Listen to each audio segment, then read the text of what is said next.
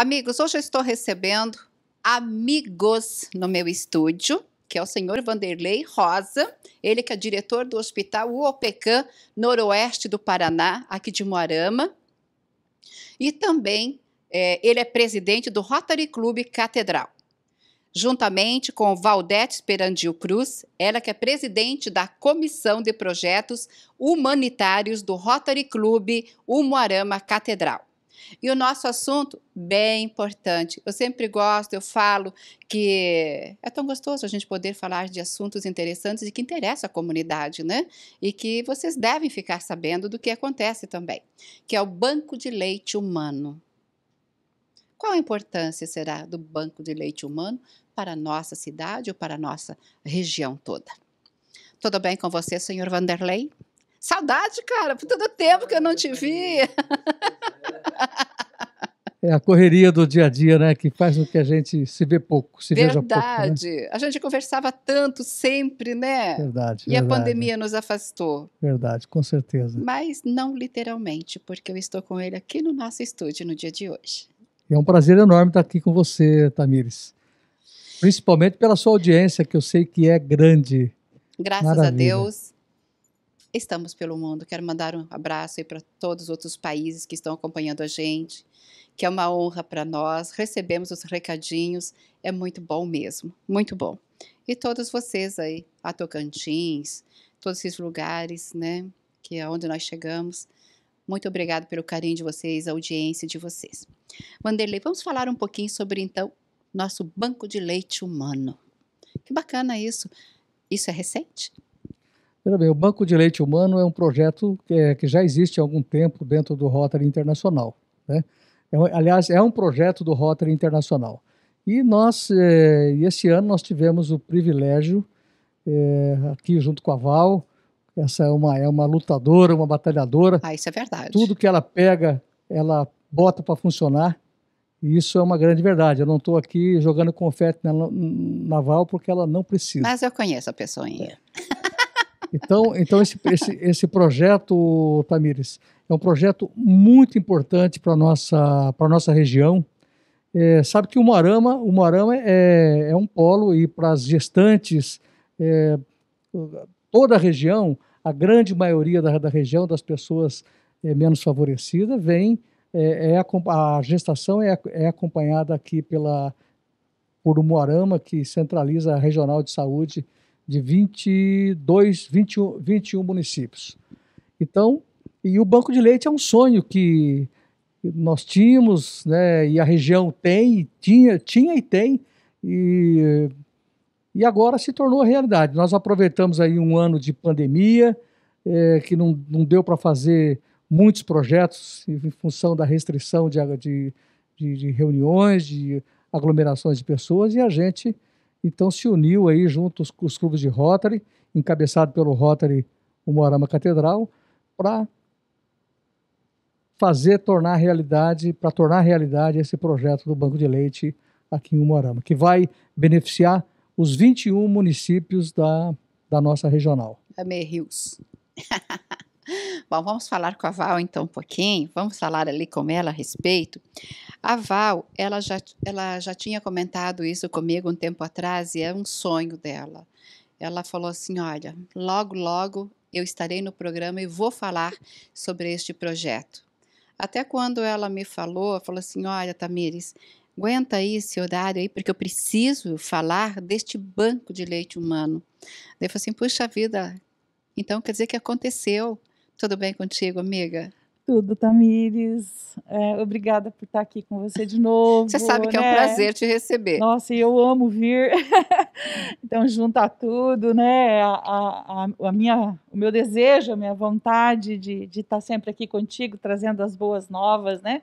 Do nosso trabalho rotário, o trabalho que a gente desenvolve aí junto à comunidade. E aí, essa joia, né? Essa preciosidade, né, Vanderlei? É um projeto que a gente vem acalentando, a gente vem cuidando, vem zelando dele, trabalhando nele desde outubro de 2018, precisamente. Olha o tempo, gente, olha o tempo. É. Então, assim, aí em agosto do ano passado, nós tivemos a dádiva, né, dele ter sido aprovado pelo Rotary Internacional e pela Fundação Rotária.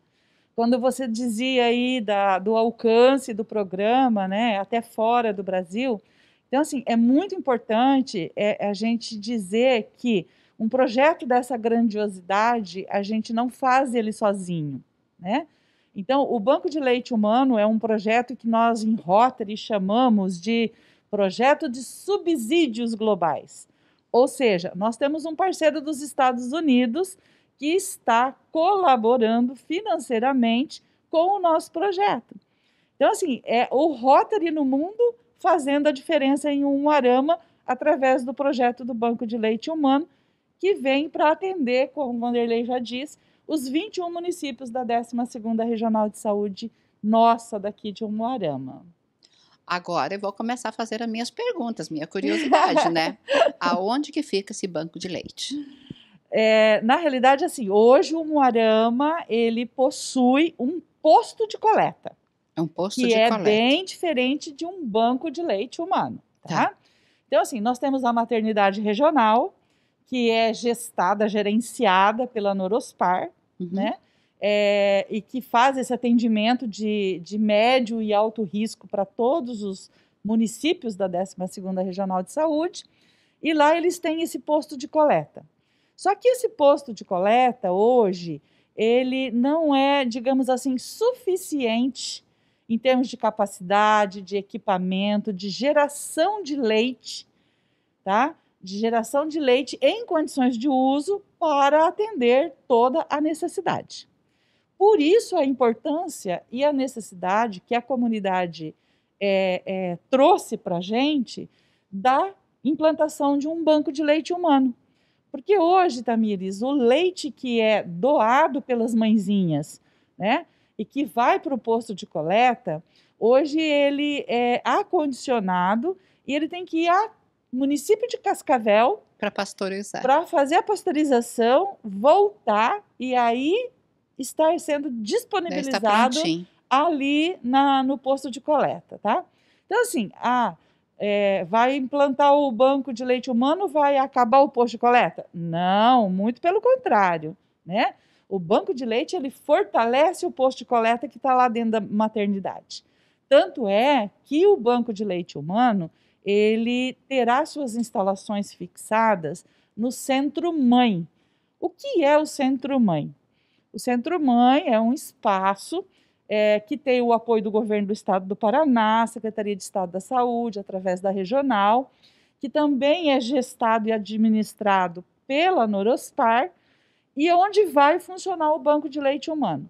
Por ali passam as gestantes de risco, a- a- os bebezinhos que depois nascem e que também, às vezes, é, ainda continua precisando de um acompanhamento mais sério. Então, assim, ali é, uma, é um espaço muito é, significativo para que a gente realmente implante nesse mesmo ambiente, digamos assim, o banco de leite humano. Então, ele vai, vai ser instalado junto ao centro-mãe e vai ser gerenciado pela maternidade regional e a Norospar, que é a gestora da maternidade. Que tudo começou com eles, né? Exatamente. É, é, e, e o início está lá, eles estão fazendo esse trabalho magnífico do posto de coleta. É um dos po- postos de coleta do país que, em tempos de pandemia, não perdeu a capacidade de, de, de arrecadar leite, coisas que aconteceu em outros bancos de leites até maiores, né, com maior capacidade de, de gestão, digamos assim é, o nosso posto de coleta aqui foi é, parabenizado pelo trabalho lindo que a equipe faz, né? Então, assim, é muito bom você saber que você está investindo num projeto, que é um projeto que vai se manter sozinho depois. Esse é o nosso foco, né, Vanderlei? O Rotary prima por projetos autossustentáveis. Né? Então, são projetos que são entregues para a comunidade e depois a comunidade dá conta de manter isso em funcionamento e em atendimento àquilo que lhe foi proposto. É, eu por várias vezes eu fiz matéria mesmo no Eurospar, né? a respeito do leite, Exato, mostramos os leites na aham. geladeira, porque a, eu não vou falar, prefiro que você fale a respeito de como que você deve né, proceder para tirar o seu leite, a mamãe, né, que tem o leite, eh, como que deve fazer e depois trazer para o hospital, ou eles às vezes até pegam em casa, não sei se é isso, às vezes acontece por motivo da de- da pandemia, e depois que esse leite estiver todo tiradinho ali, daí eles pegam uma quantidade que vai para Cascavel, eh, eu acho que vai para o hospital regional, né, que tem lá, eu acho, a pasteurização deste leite, que deixa prontinho para suprir os nossos bebês. Então, o banco de leite de Cascavel, que fica dentro do HU, né? Fica, ele, né? é, ele Uhum. faz esse, esse trabalho de parceria, né? A Regional de Saúde, uma vez por semana, disponibiliza um veículo e leva esse leite até Cascavel para fazer essa pasteurização e voltar, né? Nenhuma mãezinha é, doa leite sem é, ter sido capacitada pela equipe do posto de coleta ou do Centro Mãe. Uhum. Tá? É, hoje, aqui na cidade de Umarama, existe um projeto de parceria da maternidade com o Corpo de Bombeiros. Então, quem faz a coleta do leite dentro da cidade de Umuarama é o projeto que eles têm em parceria com o Corpo de Bombeiro. Já na região, são os próprios condutores né, dos, dos- das secretarias municipais de saúde que saem é, pegando os frascos de leite nas residências das mãezinhas que é, tiraram os leites e acondicionou para trazer para Norospar no, no posto de coleta. Que daí é feito todo um trabalho também para depois ainda ir para Cascavel e voltar. Então, assim, é, o que a gente, de primeira mão que a gente vê já, é o encurtamento do tempo. Você ter um leite em tempo real Uhum. né? Você tem esse leite disponível em tempo real. É, a capacidade de um banco de leite de gerar muito mais, ou seja, de oferecer muito mais, de salvar muito mais, né? Porque o leite humano ele salva a vida de um bebê que às vezes está lá na maternidade e a mãe por um motivo ou outro não pode amamentar. Os, os prematuros. Então assim são bebês de risco é, e que precisam desse leite, porque esse leite é vida. Ele salva vida. Então é, é, é grandioso. A qualidade de, de resistência de um bebê que foi alimentado com leite humano é significativamente maior do que um bebê que teve, que teve obrigatoriamente que ter um aleitamento é, químico, digamos assim, um leite que não é o leite humano. Ah, falar do leite de vaca aí, que né, diz que não é muito aconselhado para os bebês, né, gente? Ou mesmo os leites em pó, que É, existe, né? Leite materno é o melhor que tem. Imuniza a criança de muitas coisas, de muitas doenças. Não é isso? exatamente, exatamente. A gente que teve filho, a gente sabe. A gente sabe, a gente que amamentou sabe o quanto é importante, o quanto é bom, o quanto é amoroso, os vínculos que se criam, né?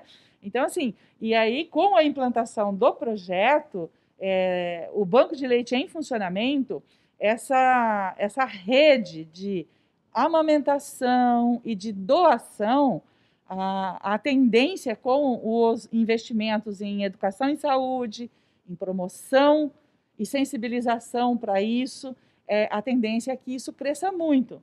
E é o que nós Amém. realmente queremos e é o que a gente está se comprometendo é, em estar presente junto com a instituição para fazer a diferença.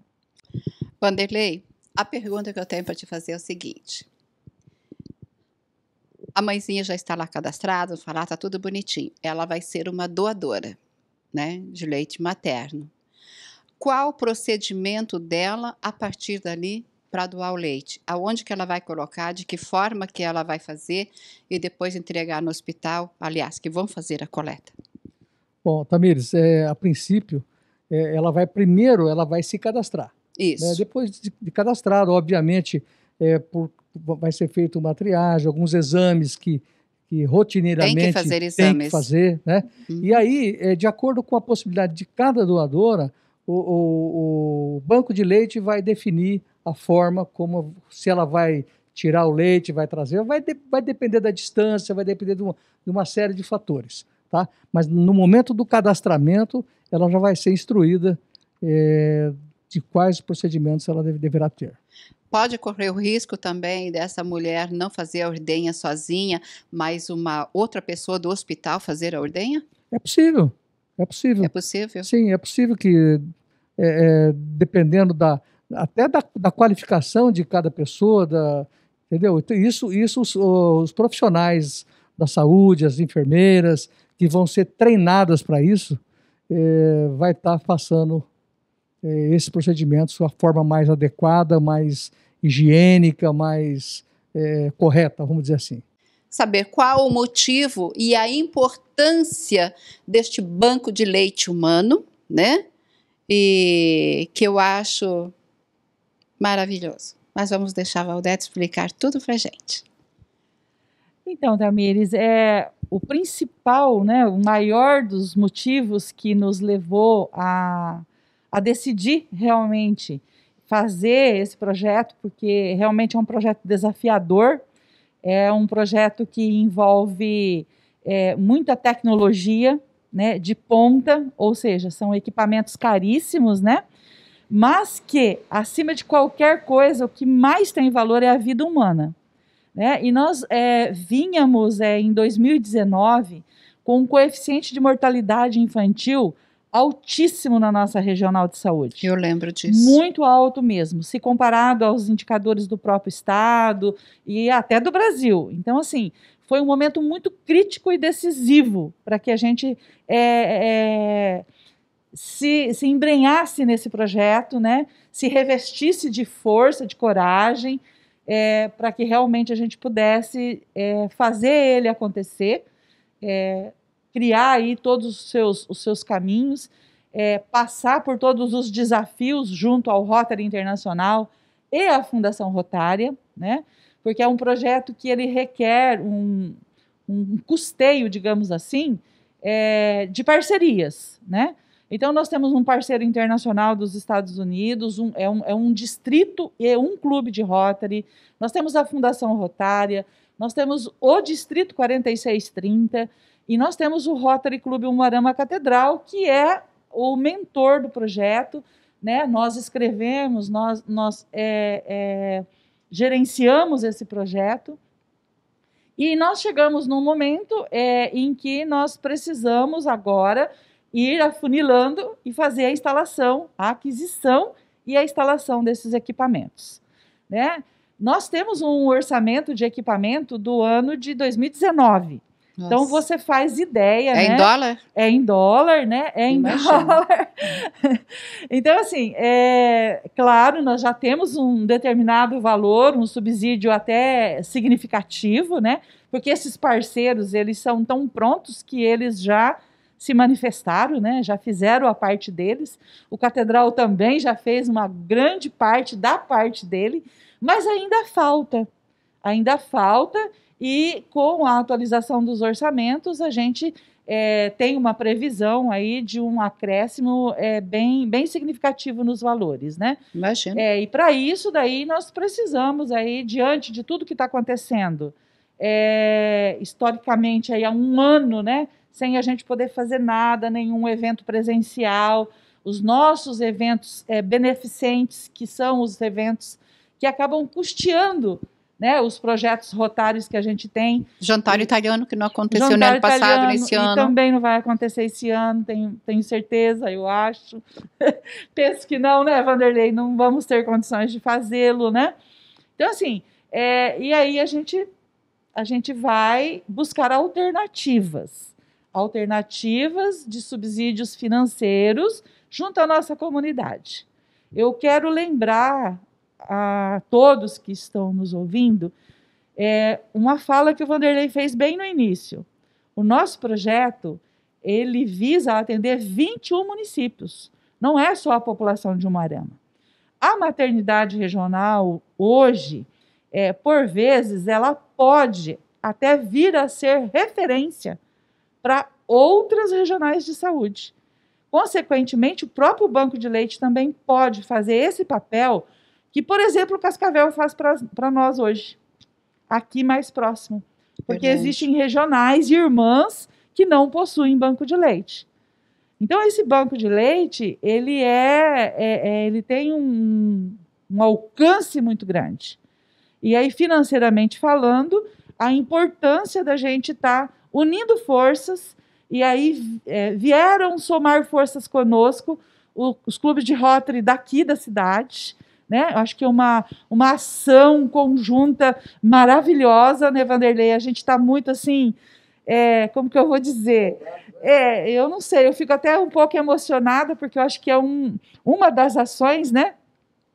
Uma das poucas ações que nós é, estamos fazendo muito junto. Que ótimo, Sabe? que bênção. É, é, no início nós ficamos meio, meio sozinhos, mas aí é, eles entenderam a importância Daí disso juntaram. e eles estão conosco. Estamos juntos e reunidos. Estamos junto, abraçado, igual arrozinho de Unidos venceremos. Unidos venceremos. Então, assim, é, essa força dos outros clubes é muito importante para a gente. É, nesse, nesse processo de arrecadação de recursos para custear o restante do valor que a gente precisa para poder é, fazer a instalação efetiva do banco de leite. Mas agora, com tudo isso, sem promoções, deve ter algo para fazer para arrecadar um dinheirinho para ajudar. Não tem como? Eu, eu acho que tem, né, Vanderlei? Quer falar um pouquinho? Quer falar, Vanderlei, do show de prêmios? Vai. Vou falar. Acontece ou não acontece? Acontece. Esse, Acontece? Esse show de prêmios. Então, Tamires, foi a, a, a única forma que nós encontramos de fazer essa arrecadação do, do, do valor suficiente para bancar, a, subsidiar a nossa parte no, no projeto do Rotary Internacional. Então, é fazer um bingo, fazer um bingo eletrônico, onde as pessoas não, não, não, não têm necessariamente que estar, nem, tem, nem, nem teria como, né? Sair de é, casa? sair de casa, estar presencial. Então a gente faz o bingo eletrônico. É, a gente se, se organizou, com, como a, Val falou, com os outros clubes. Cada um pegou uma parte para vender. São cartelas é, de valores é, muito acessível.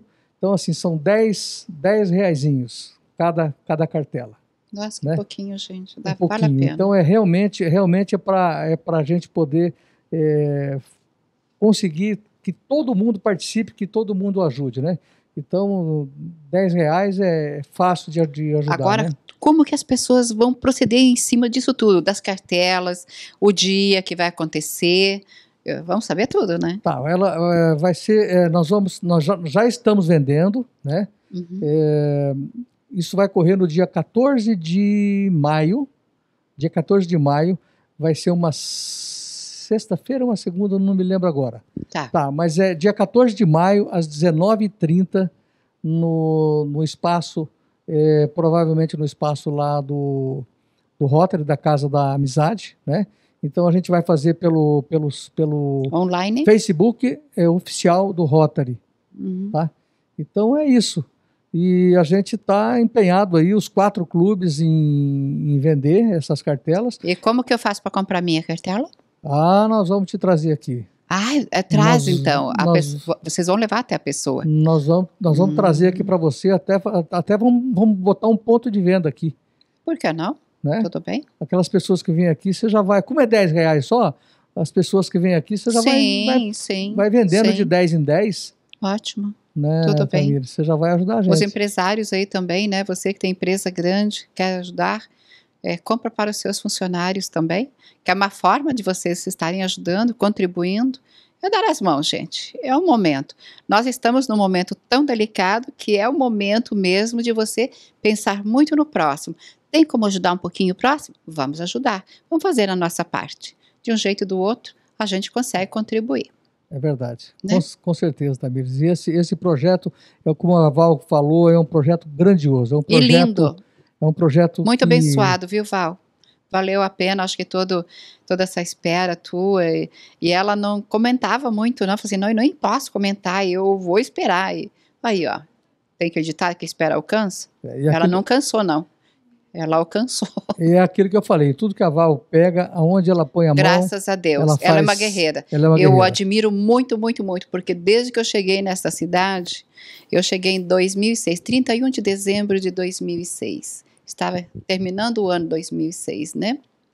E logo eu passei a conhecer o pessoal do Rotary e também comecei a fazer parte do Rotary. Não sou uma rotariana, mas eu procuro dar assistência é, com o meu trabalho para, né, para os clubes. Então, o Catedral é um dos clubes que eu mais estou envolvida. Então, isso é muito bom, é grandioso, porque sempre o que vem deles é novidade e é algo muito importante e muito forte. Então, é aonde que nós precisamos também de vocês, né? Dessa garra que vocês têm também. Se juntar tudo aí. É, que, nem a, que, nem arroz bem cozido. Você já é uma rotariana, né? assim dizem. É, você já é uma rotariana, com certeza. Mas é muito Pelo menos o espírito, de rot, o é espírito é rotário você tem né? Sempre envolvida, né? Sempre divulgando. Então a gente procura, a gente está por dentro, né, do que vai acontecendo. E se eu não estou lá, mas eles vêm para cá e trazem tudo que há de novidade, que há de bom, maravilhoso e abençoado. Porque isso é uma benção, gente, né? Muito bom. Vamos lá, minha amiga. Então, é, eu acho assim, as vendas, é, nós vamos nos desdobrar, né? É, para que realmente a gente consiga é, vender o máximo possível de, de números, né, Vanderlei? Nós vamos é, procurar mobilizar a própria região nossa. Nós estamos já mesmo. E torcer que a pandemia mesmo, também já. Tal, mesmo alguns ainda não sabendo, mas nós estamos contando sim com todos os secretários de saúde dos 21 municípios, os nossos prefeitos, né? É, as nossas associações, os nossos outros clubes e irmãos né, as outras instituições filantrópicas que tem na cidade, né, toda a sociedade organizada, os empresários, como você bem lembrou. É, então, assim, todos os rotarianos, de uma forma direta ou indireta, terão acesso à venda dessas cartelas, Tamires. É, e a gente vai facilitar o máximo possível. Eu mesmo estou vendendo e as pessoas estão pagando com o Pix na minha conta e eu estou controlando, eu tenho uma planilha. É, tô bem animadinha lá e fui lá, peguei mil números, meu Deus, mil! Eu depois me assustei Essa é a na hora. Esperandil Na hora que eu comecei a dar uma olhada lá, fazer o controle, eu falei, meu Deus, eu sou louca, né? Mas eu sou louca, louca, um louca, uma louca do bem, né? do bem. Uma louca do bem, uma, uma apaixonada, é uma apaixonada pelos, pelos projetos. Acho que coisas que valem a pena, né? E em tempos de tantas tristezas, é. É, a gente poder ajudar e poder fazer a diferença, mesmo que seja pequena. Nós estamos fazendo a diferença. Fazer. Dá para fazer. Então, assim, vem com a gente, né, Vanderlei? Contamos com toda a nossa comunidade, né? Onde as pessoas quiserem, faça contato conosco e nós estaremos disponibilizando a, a cartela do show de prêmios. Pois é. São 10 prêmios, tá? Cinco prêmios e mais hum. cinco rodadas, né? De, em dinheiro. Então, assim, vai valer a pena. É tudo din, din? Não, cinco rodadas em dinheiro e cinco prêmios grandes. Nossa. Bons. Hum. Vale a pena. Você vai ficar sabendo de tudo isso na hora que você comprar a sua cartela. Mas tem que comprar a sua cartela para saber, hein? As pessoas que gostam do bingo mesmo, que vão comprar, Ó, eu quero mandar um beijo, um abraço para o pessoal de Cruzeiro do Oeste que acompanha o programa, que estão sempre ligadinho com a gente. Vocês aí, né, que estão ligados com a gente, também os rotarianos. Alto Piquiri também, né, Vanderlei? Tem Rotary por aí tudo, gente. Tem, tem nossos, nossos clubes por aí. Valdete, deixa o teu recadinho final, por favor, para a gente encerrar nosso bate-papo, que foi um prazer muito grande poder recebê-la novamente no programa e sempre trazendo novidades. Eu falo mesmo que ela vem trazer sempre coisas muito boas, muito boas ligado ao Rotary, muito bom mesmo. E também o trabalho social, às vezes, que a gente vem fazer, ela também está junto. Ai, quero mandar um beijo aí para a nossa para nossa primeira dama, né? Querida Dulce, né? A Dulce Pozo Bom, que esteve aqui também. Nós nos juntamos, fizemos também nosso trabalho social. Nosso amigo Silvio. E que deu Bob, muito certo. É. Verdade. O é? Silvio, Silvio, obrigada, viu? Obrigada por teu carinho, pela tua atenção, de ter feito o que você fez aí pra gente. Foi muito bom. Hum. Quatro mãos que fizeram um negócio bem bacana aí Fazendo e que deixou uma família muito feliz. Né? Exatamente. Né? agradecer imensamente a oportunidade, mais uma vez, de estar aqui, é, honrando o compromisso de que eu disse que a nossa primeira, a nossa primeira entrevista fora seria sua em relação ao banco de leite. E isso está acontecendo por coincidência ou não, por obra do destino ou não, mas nós estamos aqui e de público falando do banco de leite humano. Ai, né? que bom. E Obrigada. da instalação dele, que é um fato, é uma realidade. Então, assim, muito obrigada pelo apoio, pelo carinho, pela compreensão, pelo tempo de espera que você soube, né? Verdade. Tudo no tempo de Deus, né, Tamires? Tudo no Então, tempo de Deus. Glória Tudo. a Ele e a tudo que a gente pode fazer pelos nossos irmãos. Muito Verdade. obrigada, tá? Que Deus abençoe. Amém. Ao nosso amigo Vanderlei também, ele que é diretor aí do Hospital OPECAM da nossa cidade, desde que começou, né? Estivemos de aniversário há poucos dias, né? Foi dia 4 de Dia março? 4 de março. 4 isso. de março, completou Cinco mais anos. um ano, cinco anos de inauguração. E nós estivemos lá, fizemos toda a cobertura, bastante emocionante. E hoje está aí como o hospital referência do Do Covid-19, Covid-19, isso. né? Eu quero agradecer carinhosamente a sua presença. Estava com saudade de você já. Que bom, Tamira. Que bom. A gente sente falta dos amigos, né? Que bom.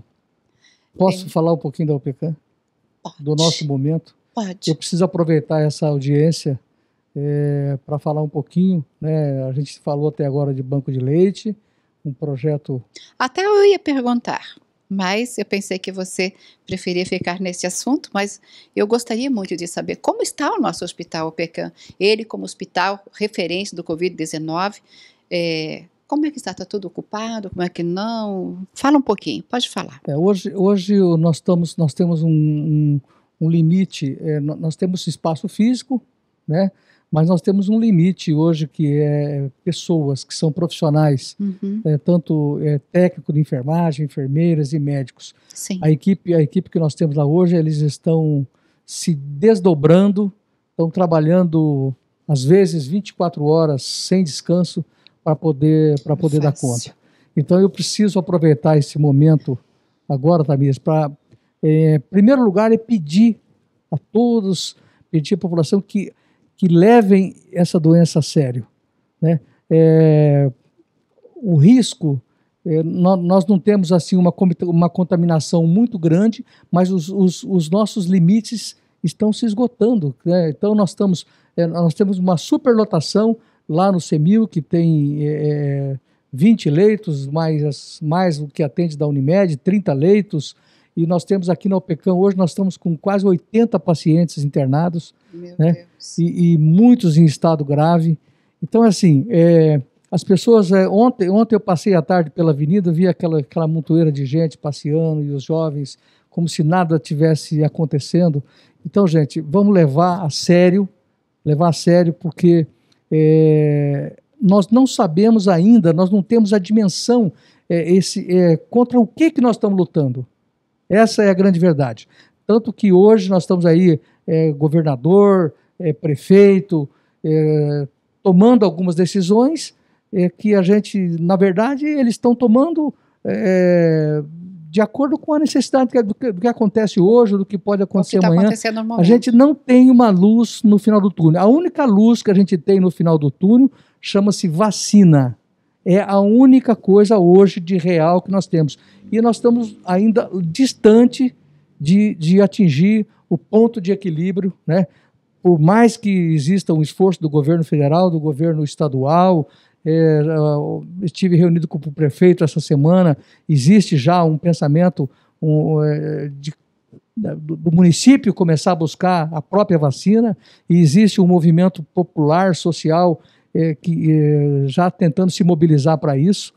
E, então, assim, mas a única, a única luz que nós temos é a, é a vacina e o distanciamento social, que as pessoas têm que se conscientizar e têm que serem responsáveis por, pelo seu próximo, pelo seu irmão.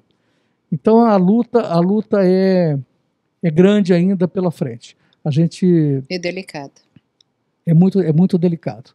Então a gente está ali hoje com a equipe trabalhando de forma exaustiva, eh, trabalhando de forma incansável.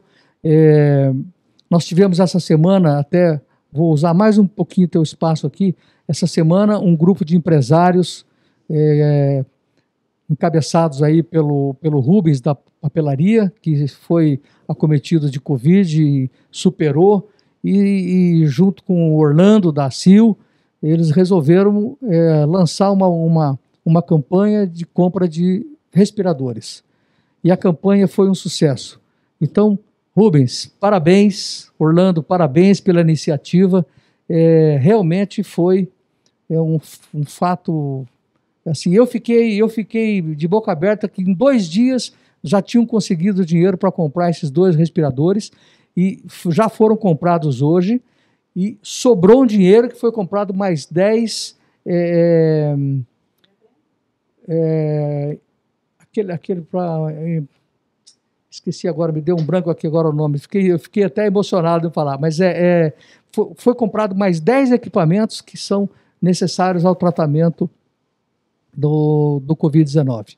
Então, parabéns ao Rubens, parabéns ao Orlando e parabéns a todos os empresários e pessoas que participaram, que colaboraram é, dessa, dessa campanha. Que bom, ótimo. Fico muito feliz. Um grande abraço ao nosso presidente da Associação Comercial, Industrial e Agrícola de Umarama, senhor Orlando Santos. Um abraço para o senhor. E também o Rubens, né, que encabeçaram. Que bacana isso. É isso que precisa, né?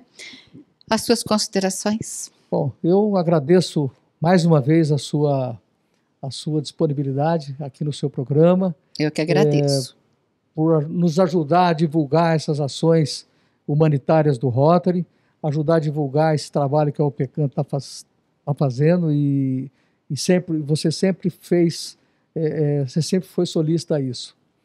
Então, muitíssimo obrigado e um abraço aí aos teus telespectadores. telespectadores e um grande abraço a todos vocês. Muito obrigada, Vanderlei, que Deus abençoe. Fico muito feliz também em revê-lo. E bem, né? Até falei para ele, tá, emagreceu, tá bonitão, né? obrigado, obrigado, Tamir, obrigado. A vaidade. Mas eu tenho o maior carinho por ele também. Eu conheço o Vanderlei já há muitos anos e, e, e sei da luta dele, de, dele, da Val e de muitos outros, porque ninguém faz um trabalho sozinho, sempre tem uma equipe muito grande, né, junto, e eu quero mandar um abraço para todos os rotarianos que estão envolvidos com esse banco de leite humano. Eu vou para o comercial e na volta eu estarei, estarei na cozinha com a culinária para vocês.